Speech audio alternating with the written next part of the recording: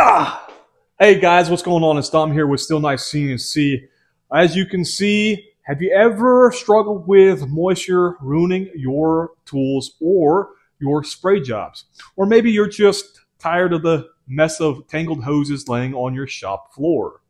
In this video, I'm going to show you how to set up a three-stage air drying system to deliver your tools the cleanest air possible to keep your tools running smoother than ever and add a beautiful hose reel to the top of the wall here like a pro. So let's jump right in. But before we get started, let me ask you, what's your biggest frustration when working with air compressors? Leave a comment below. I'd love to hear it and might even have a solution in a future video. Here's what we're working with. We have a three-stage air dryer to remove moisture, oils, in particular from the air.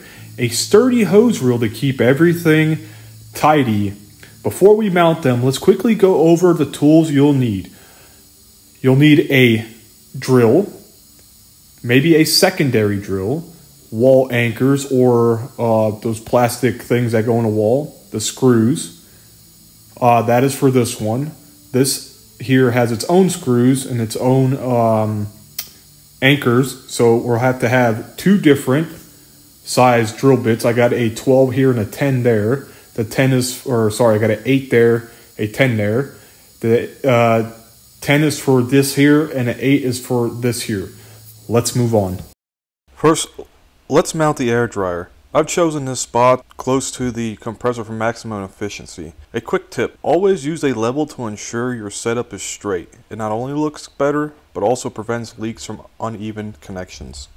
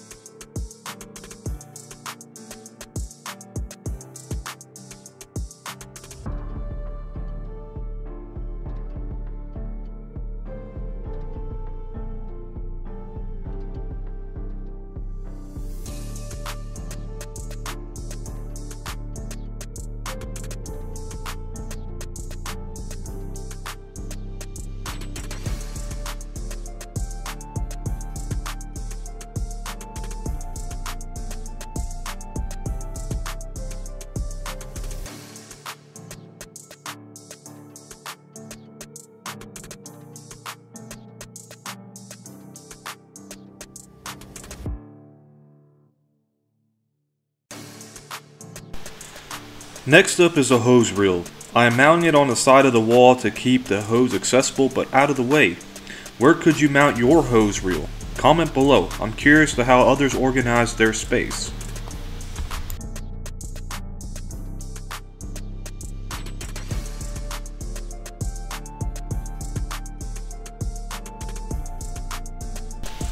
Drill and mount the hose reel securely. With the reel in place, we'll connect it to the output of the air dryer. This ensures that air is dry and clean by the time it reaches the end of the hose. Incorporating a hose reel into your workshop offers several key benefits. Enhanced safety. By keeping hose reels neatly stored, hose reels minimize tripping hazards contributing to a safer work environment. Prolong hose lifespan. Proper storage prevent kinks and damages, extend the life of your hoses and reducing replacement costs. Improve efficiency. With hoses readily accessible and easy to retract, you save time and maintain an organized workspace boosting overall productivity. Investing in a hose reel is a practical step toward a safer, more efficient, and cost effective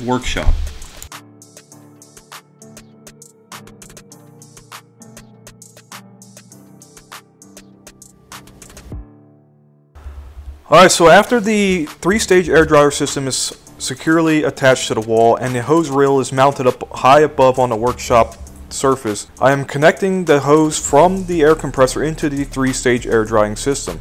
Each stage has a filtration.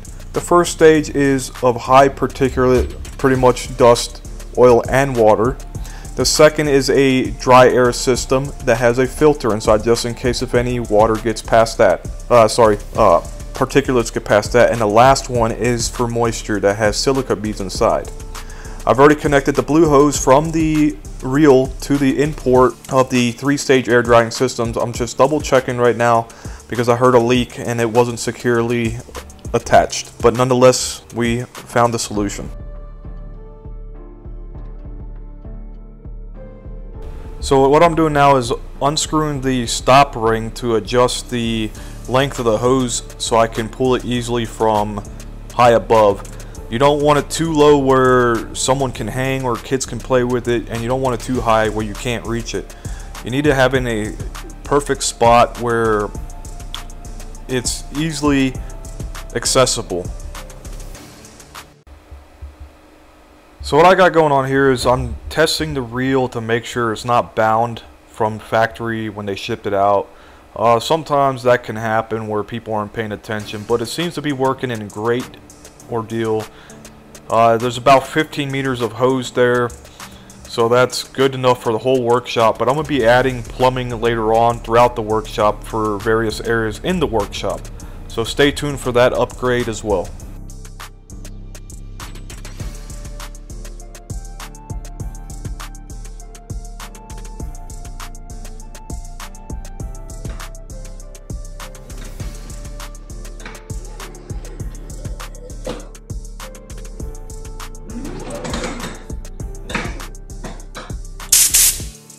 So what do you think of this setup? If you found this video helpful, give it a thumbs up and consider subscribing for more workshop upgrades and DIY projects.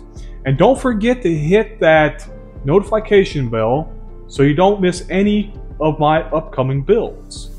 What is one upgrade you've been meaning to make in your workshop? Let me know in the comments below. I might feature it in a future video.